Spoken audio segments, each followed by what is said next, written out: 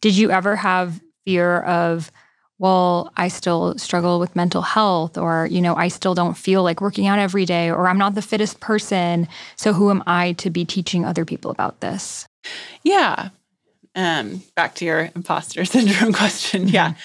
Um, always, you know, but I finally got to a point, number one, yeah, imposter syndrome is a major thing. But then I just like once I started to speak out and just be me and say, this is who I am, I've gained weight, I've lost weight. Everyone's like, oh my God, Karena like is heavier now.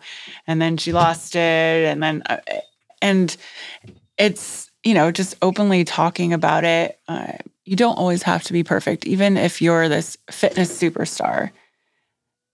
You don't always have to be a fitness superstar. You just be you. But if you can motivate people, like for you, and what you do. You're not always in, I'm sure, in the right mindset.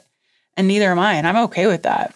But just to be able to break that silence and to be open that you don't always have to be perfect. And I am not here to be perfect, but I'm here to help others know that they don't have to feel the that they need to be perfect at all times, but together we can live our best life and support one another and pick each other up when one of us is down and vice versa. And mm. I think that's so important.